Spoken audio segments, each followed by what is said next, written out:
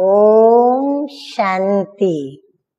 आज की तारीख है उनतीस आठ सत्रह और आज की ज्ञान मुरली का शीर्षक, मीठे मीठे बाप दादा कहते हैं, मीठे बच्चे, इस रूहानी पढ़ाई को कभी भी मिस नहीं करना।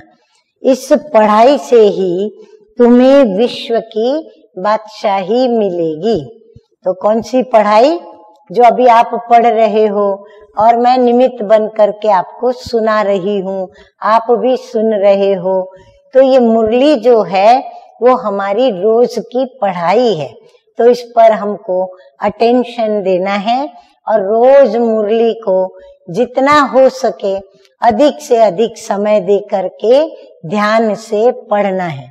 और रिपीट भी करना है बार बार भी पढ़ना है। प्रश्न है आज का, कौन सा निश्चय पक्का हो तो पढ़ाई कभी भी मिस न करे। हाँ अभी तो कईयों का ऐसे होता है, बहुत काम में व्यस्त हो जाते, कभी कहीं बाहर चले जाते। किसी न किसी कारण से कई मुरली मिस कर देते हैं। कोई पूरी मुरली नहीं पढ़ते, कोई आधी पढ़ते, कोई बिल्कुल नहीं पढ़ते, फिर एक दिन नहीं पढ़ते तो उसका लिंक दो तीन दिन तक चलता।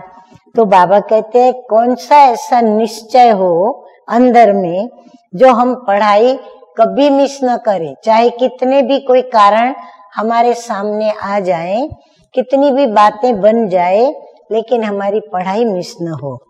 तो उत्तर है, अगर निश्चय है कि हमें स्वयं भगवान, हमें स्वयं भगवान टीचर के रूप में पढ़ाई पढ़ा रहे हैं। खुद हमको आकर के अभी पढ़ाई पढ़ा रहे हैं। इस पढ़ाई से ही हमें विश्व की बादशाही का वर्षा मिलेगा और ऊंच स्टेटस भी मिलेगा। पद भी हमारा ऊँचा प्राप्त होगा और बाप हमें साथ भी लेके जाएँगे। तो पढ़ाई कभी मिस न करो। अंडरलाइन करे सभी निश्चय न होने के कारण पढ़ाई पर ध्यान नहीं रहता। इसीलिए पढ़ाई मिस कर देते हैं। गीत बजा है, हमारे तीर्थ न्यारे हैं, यही धरती के तारे हैं। बाबा कहते हैं, जो भी बाबा के ये यज्ञ हैं, सेवा स्थान है, सेवा केंद्र है, ये सब क्या है? तीर्थ समान है। जहाँ पर ये सितारे जैसे राह दिखाते, ऐसे ये भी तीर्थ स्थान प्रभु का द्वार दिखाते हैं। धारणा के लिए मुख्य सार के दो मधुर महावाक्य, नंबर एक है, एक बाप के ही फरमान पर चलना है और बाप से ही सुनना है। मनुष्यों की उल्टी बातें सुन, उनके प्रभाव में नहीं आना है। उल्टा संग भी नहीं करना है। नंबर दो है, पढ़ाई और पढ़ाने वाले को सदा याद रखना है। सवेरे सवेरे क्लास में ज़रूर जाना है। अभी हर एक देख ले अपने चार्ट को कि क्या हम सवेरे सवेरे बाबा के क्लास में जाते हैं, क्योंकि बाबा स्वयं हमको ये पढ़ाई पढ़ाते हैं। वरदान है सतगुरु बाप का, ज्ञान युक्त भावना। भावना रखें। जैसे श्रद्धा भी ज्ञान युक्त हो, समझदारी के साथ हो तो वो श्रद्धा से सिद्धि प्राप्त हो सकती। ऐसे ही भावना यदि हमारी ज्ञान युक्त हो, हमें समझ भी होनी चाहिए कि मैंने इसमें जो भावना रखी है, वो व्यक्ति उस भावना के पात्र है। योग्य है।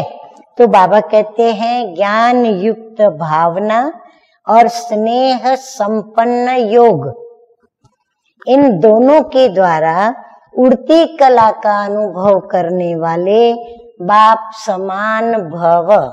तो बाबा को जब हम याद करें तो भावना रखे पर कैसी? ज्ञान युक्त बाबा कौन है, क्या है, सब बातें बुद्धि में हो।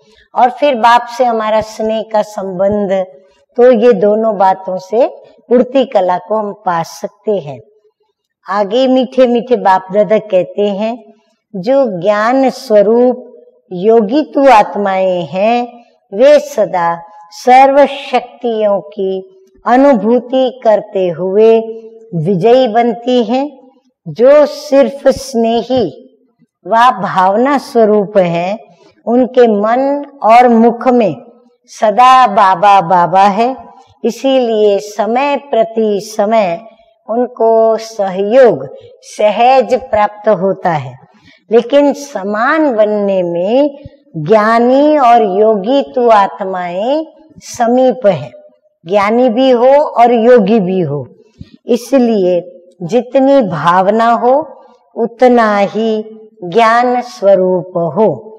ज्ञान युक्त भावना और स्नेह संपन्न योग, इन दोनों का बैलेंस उड़ती कला का अनुभव कराते हुए बाप समान बना देते हैं।